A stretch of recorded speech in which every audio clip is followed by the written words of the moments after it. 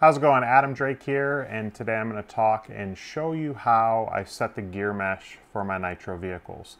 Sounds simple enough, uh, but it's a really key and important part of your Nitro program. If the gear mesh is too tight, it can cause additional friction and kind of power loss and increase engine or operating temperature. And if the mesh is set too loose, you can cause failure to the clutch bell or spur gear. So when you have, say, your clutch bell and spur gear, you want the teeth to mesh to where you're getting, for the most part, the full engagement of the teeth with one another. If the mesh is too loose, when the engine engages uh, the power to the clutch, and then the clutch um, goes to then push the clutch bell, which then pushes the spur gear. If that is too loose, you can actually cause failure or you can you can knock a tooth off either the clutch bell or the spur gear. So it's really important that you have the proper amount of backlash. Um, I always try to err slightly on the side of the mesh being a little bit on the tight side versus being too loose. Um, but another really key part is making sure that you use thread lock in the proper areas, um, lock washers in the proper areas, because when we run nitro, you can run for extended periods of time. Sometimes local races, the mains are only 15 minutes, but some of the bigger races, it's 45 minutes to an hour. Or even on practice days, you may go run for 45 minutes to an hour straight, and you want to make sure that that mesh stays consistent.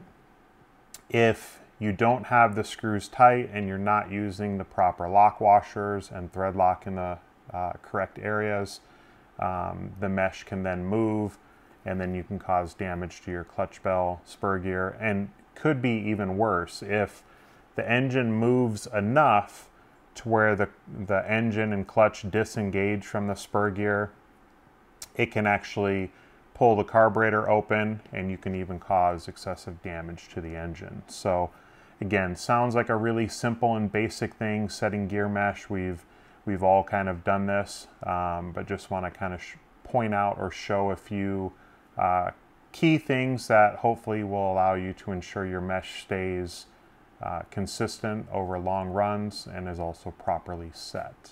I'm going to go ahead and loosen up the screws on both the top and bottom side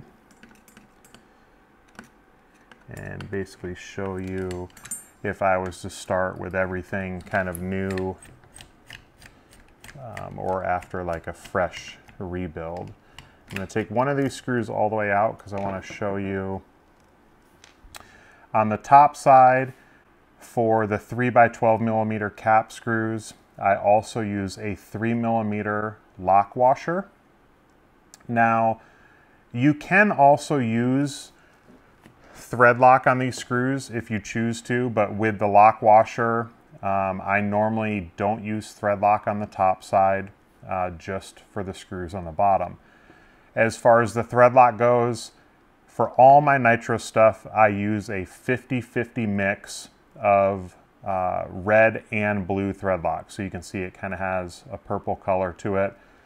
I feel like blue, in a lot of cases, uh, is not quite strong enough and red sometimes can be difficult um, to break loose.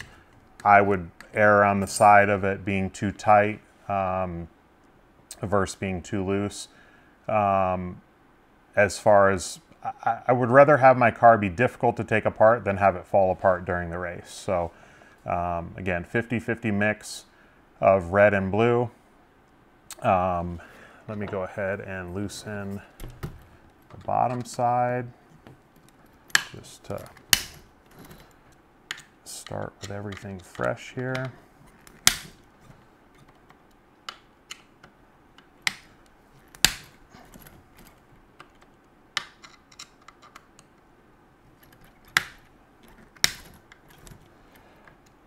All right, so normally I will put the engine onto the mount when it's out of the car. And then for the most part, when I adjust my mesh, like as the spur gear or clutch bell slightly wear. I'll do the majority of that from the top because again, I'm not using thread lock on the top. I pull the engine in and out all the time when I'm servicing the clutch or clutch bearings. Um, and then the screws from the bottom are being thread locked in. So once they're kind of set in place, usually you have enough movement from the top side that um, you can kind of make fine, fine adjustments with the mesh. Um, what I like to do is basically push the engine towards the back of the mount and also slightly twist it towards um, like the driver side of the car. So I'll do that and tighten down these screws. And I'll explain in a minute why I kind of twist the engine slightly. So from there, I'm going to go ahead and I'll start by removing just one of these screws. Put a fair bit of thread lock on the screw. I like to always then just kind of work the thread lock around to make sure it's kind of fully coated the end of the screw. And then I'm not going to crank that all the way down yet because I'm going to go ahead and remove and thread lock all four of these screws that are going to go into the bottom. Same thing, make sure I kind of work the thread lock equally around the threads of the screw. And if you have to break these screws loose to readjust your mesh, you're gonna want to just apply a little bit more thread lock because once you've kind of broken that thread lock loose and it's dried, you'll want to uh, put just a little bit of fresh thread lock on there.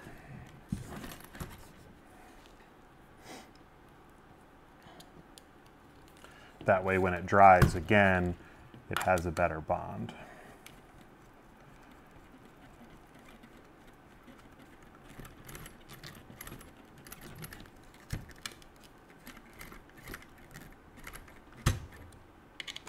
Now we'll do the last screw.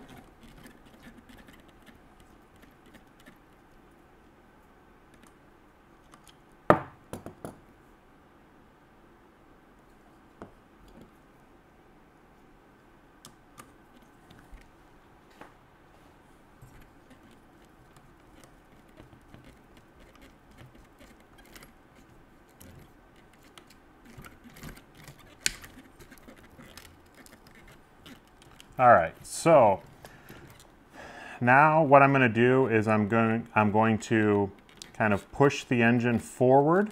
And what I'm trying to do is basically make sure that the mount or these screws are squared up in the slots. So by pushing it forward, it should push both of those screws to where it's touching the edge of the chassis.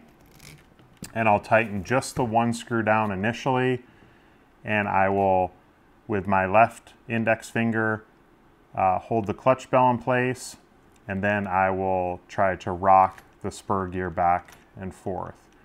Now I have just a tiny bit of backlash, but it's a little bit tight. You can hear with the mesh, it's just a little bit tight. So I'll actually take this 2.5 wrench, use it a, kind of like a pry bar and just slightly put a little bit of tension on the flywheel to loosen up that mesh. Then when I go the tight, so I tighten this screw initially, I'll go across, tighten this front screw, and I'll go back, tighten this, cross again, go to the front, and then when I'm, I have all of those snug, I'm going to just check the mesh. I'm going to hold the clutch bell and just kind of tick this back and forth.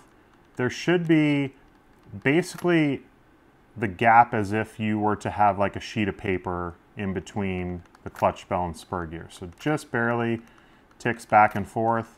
Again, I would rather err um, on the side of being slightly too tight with the mesh versus being too loose. And then I have this carbon tool to make this more of like a T-handle. And I like to really crank these screws down. That's maybe a little too tight. Um, as you can see, I broke the tip off. But I'm going to grab another wrench and then we'll finish these three screws. All right, so same thing. We're going to kind of go in a cross pattern.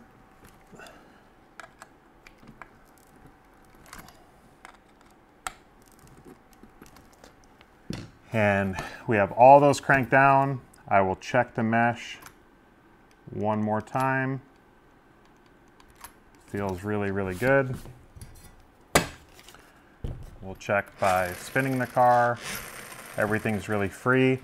And now I'll explain why when I tighten the screws down from the top, I kind of twisted the engine a little bit. The reason for that is, again, I like to set the screws on the bottom that go through the chassis into the mount with thread lock. Make sure that they're super tight so that I don't have to loosen up and adjust those screws very often. And by twisting the engine slightly to essentially make the mesh looser, it's now going to give me a range of when the clutch bell and spur gear wear slightly, I'm able to twist the engine back and tighten up that mesh without having to loosen these screws on the bottom.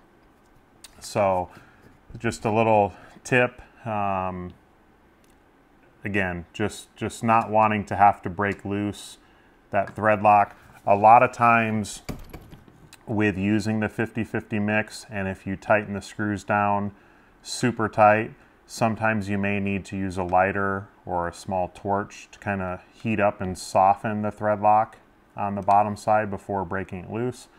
That way you don't break a tip like, like I did when I was tightening that down. Um, but again, just a super important and critical part of your nitro program. You see it a lot of times where guys land a big jump, the engine slightly moves, and it can move in either directions. Typically, it tends to move uh, to where the mesh is a little bit looser. If the mesh is looser, you run into the problem where you can knock a tooth off the clutch bell or spur gear.